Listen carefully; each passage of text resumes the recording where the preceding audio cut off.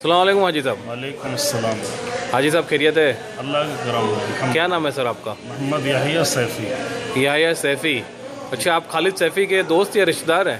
भाई दोस्त हैं। दोस्त हैं वो भी सैफ़ी आप भी सैफ़ी? दोस्त हैं भाई हैं। अच्छा माशाल्लाह। आप दिल्ली से आए हैं? दिल्ली से। कौन सी तारीख को आए थे सर आप? बीस तारीख में आए। बीस तारीख में आए थे। आज आप मक्का से मदीना जा रहे हैं इंशाल्लाह। तो आपका सफ़र कैसा गुजरा सर? सफ़र यहाँ बहुत अच्छा रहा। जो लोग आपके स्टाफ के हैं सफ़र वगैरह बहुत अच्छे लोग हैं कोऑपरेटिव हैं।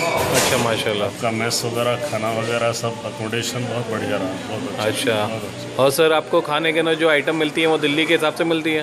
बहुत बढ़िया आप नॉर्थ इंडिया में कहाँ से हैं सर? कहाँ से ताल्लुक़ है। आपका? मेवात से मेवात कहाँ आता है सर ये मेवात एक अलग एक इलाका है जो हरियाणा राजस्थान यूपी दिल्ली में लगता है। हरियाणा राजस्थान के नज़दीक है ये। हाँ तो वहाँ के लोगों के खाने के हिसाब से आपको खाना मिल रहा है आपको पसंद आ रहा है? ठीक है वो कई सारी सब्ज़ियाँ होती हैं तो वो अच्छा वैरायटी ज़्यादा होती है तो आपको कोई ना कोई एक आइटम मिल जाती है अपने पसंद की।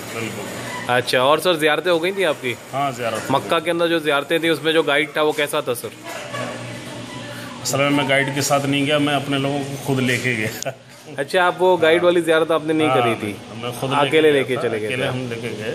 अच्छा। दूसरे दिन हम गए अच्छा। पहले जा चुके थे।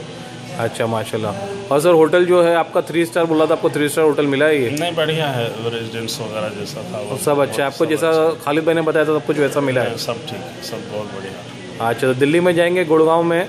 हरियाणा साइड में तो लोगों को हमारे टूर के बारे में बताइएगा। ज़रूर ज़रूर। और उनको बोलिएगा खालिद भाई से बुकिंग कराएँ दिल्ली के अंदर। ज़रूर ज़रूर बताएँ ठीक है सर? शुक्रिया थैंक यू वेरी मच